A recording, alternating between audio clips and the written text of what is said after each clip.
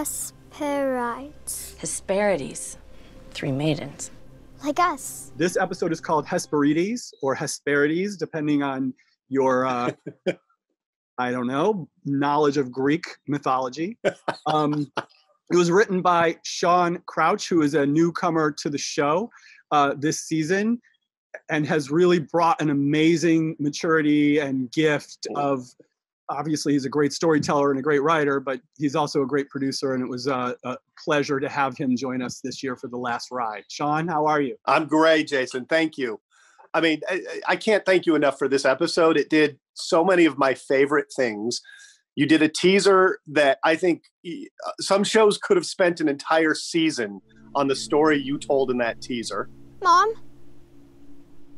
NTO?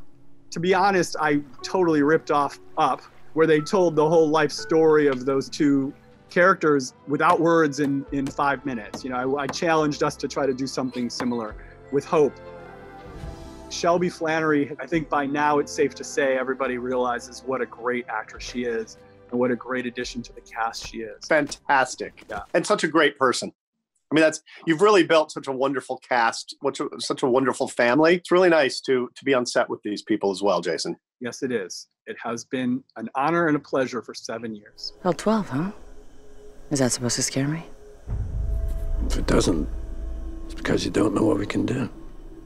No, I'm really scared. we have this really great guest star, Darren Moore, who came in as our fourth, basically. We have Gabriel, Echo, and Hope coming together as a family, and we have this fourth character, Orlando, played by Darren Moore. I found myself loving him. I mean, I just love this character so much and the way he played it. Just an interesting actor. The only way off this planet is on my absolution day.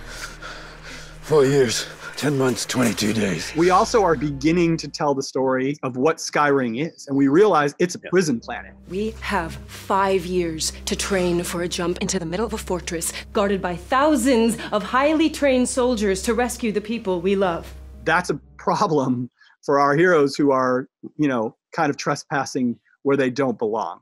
And then our, our other half of the script, we get a play in Sanctum, where Clarke finally gets to meet the disciples. We are the disciples of a greater truth, and we need your help, Clarke. The disciples show up in a big way, and we finally tell half of our cast that the other half of our cast is missing. Where are they? Clarke and company uh, will now need to figure out what happened to Bellamy Octavia, Echo, Gabriel. Uh, they don't know who Hope is yet, but they will meet her soon enough, hopefully. And really, you know, our adventurers join. Trust me. These things only work if you're willing to pull the trigger.